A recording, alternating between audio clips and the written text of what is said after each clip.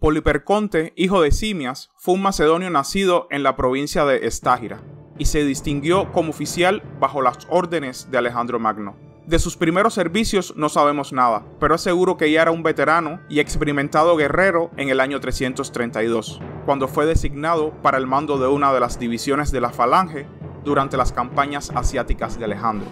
Más tarde, lo encontramos ocupando el mismo puesto en la batalla de Gaugamela y apoyando la proposición de Parmenión de atacar el campamento persa por la noche durante el consejo de guerra antes de la batalla. En las campañas posteriores, en las provincias superiores de Asia y la India, desempeñó un papel importante y su nombre se menciona con frecuencia. Así, lo encontramos asociado a Coeno y Filotas en el paso de las puertas persas y posteriormente, bajo el mando de Crátero, contra los jefes sublevados en Paraitacene. Acompañó a Alejandro en su expedición a los asentamientos de los mismos rebeldes y redujo con su propia división la fortaleza de Nora. Su nombre vuelve a aparecer en el paso del Hidaspes, así como en el descenso de ese río y en ambas ocasiones sirvió bajo las órdenes de Crátero. En el año 323 se asoció una vez más con este general como su segundo al mando en la misión de vuelta del ejército de veteranos que regresaría a Macedonia. Como consecuencia de su ausencia en Babilonia, en el momento de la muerte de Alejandro, parece haber sido pasado por alto en los arreglos que siguieron a este evento. Y no encontramos ninguna mención de su nombre durante algún tiempo después, pero parece seguro que debe haber regresado con Crátero a Europa y probablemente tomó parte con él y Antípatro en la guerra lamaica. Durante la primera guerra de Diádocos, los etolios desempeñaron un papel notable.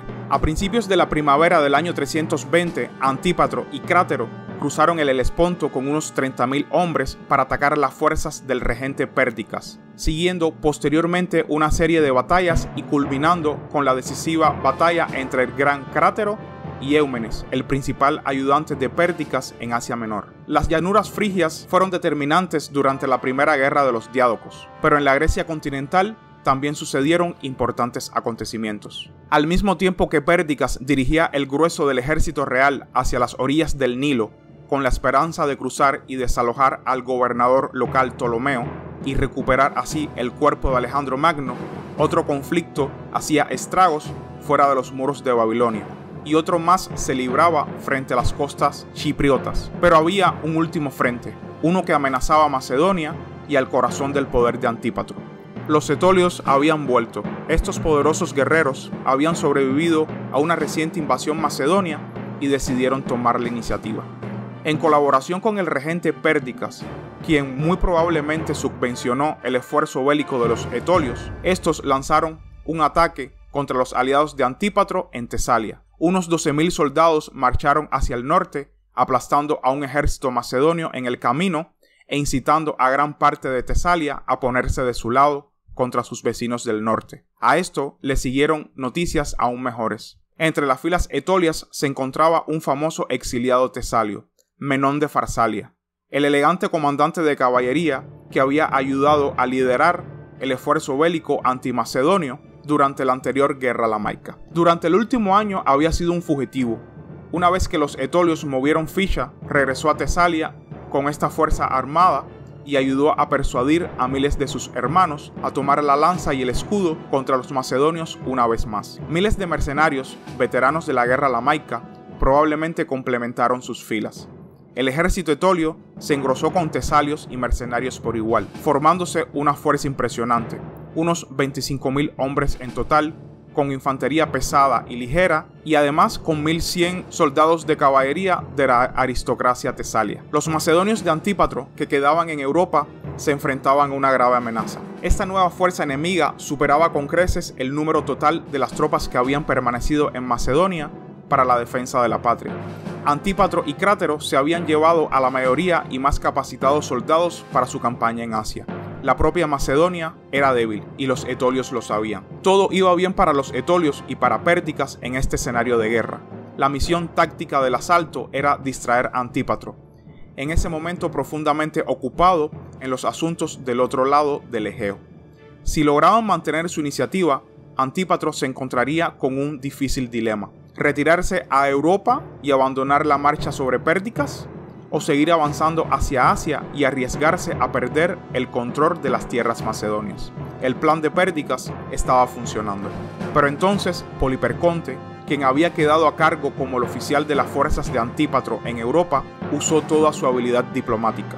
Sabía que sus fuerzas carecían de los efectivos necesarios para enfrentarse al ejército combinado Tesalio-Etolio, que estaba causando estragos más al sur. Si quería aplastar esta nueva amenaza, necesitaba dividir a su enemigo de alguna manera. Poliperconte encontró la solución perfecta. Esa solución era abrir un segundo frente. Poliperconte animó a los habitantes de Acarnania, un pueblo situado al noroeste de Tolia, con una larga historia de animosidad hacia sus vecinos, a invadir el corazón de Tolia y saquear su territorio. Los acarnienses, viendo que el principal ejército etolio estaba lejos, cerca de Tesalia, necesitaron poco para convencerse.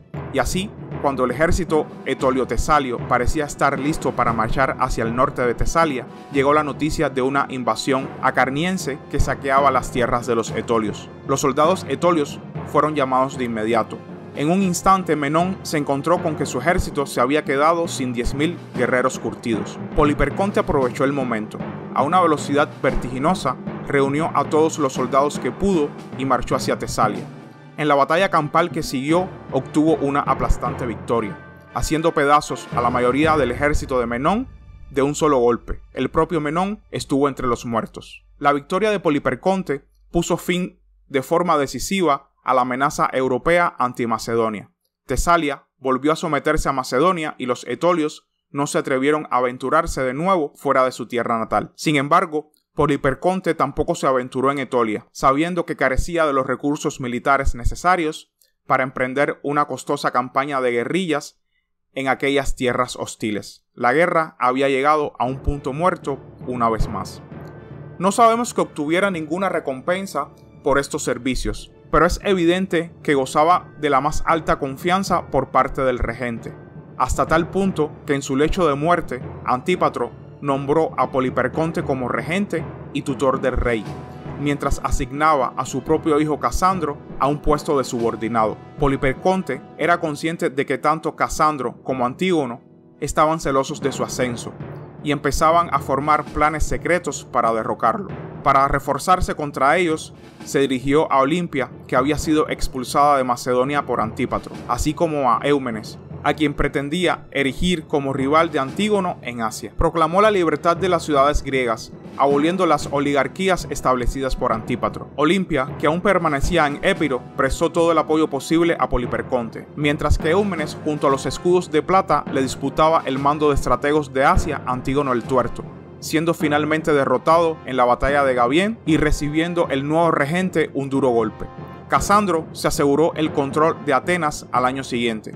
Después de estos hechos, Poliperconte fue expulsado de Macedonia por Casandro, que se apoderó del débil rey Filipo III y su esposa Eurídice. Poliperconte por su parte huyó a Épiro, donde se unió a la madre de Alejandro Magno, Olimpia, a la vida Roxana y al hijo menor de Alejandro llamado Alejandro IV formó una alianza con Olimpia y con el rey Eácides I de Épiro, y marchó junto a Olimpia, quien condujo a su ejército a Macedonia. El ejército epirota derrotó al ejército del rey Filipo III, siendo este capturado y asesinado por Olimpia.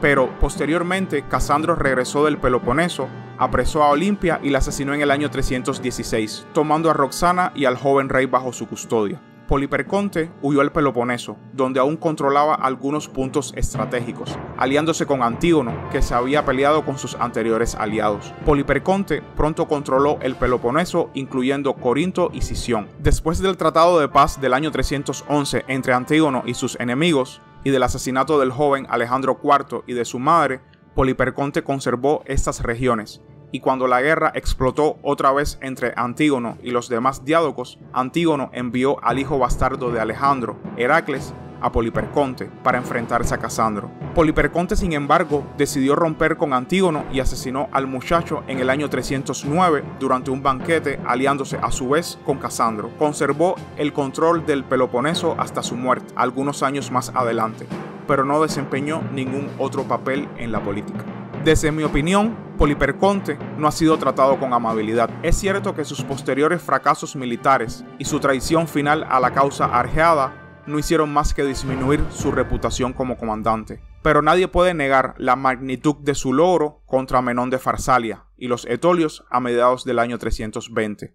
De no ser por sus acciones, Antípatro bien podría haberse visto obligado a regresar a Europa y la primera guerra de sucesores podría haber terminado de forma muy diferente. También me gustaría añadir que como segundo al mando fue un oficial eficiente, pero no contaba con las dotes de liderazgo para ser el regente de Macedonia ni ser digno de la confianza que le dejó Antípatro. Al final ha quedado como el más desconocido de los diádocos. Y hasta aquí el video de hoy, espero que les haya gustado y suscríbanse para más contenido relacionado con historia antigua e historia de Macedonia. Hasta la próxima.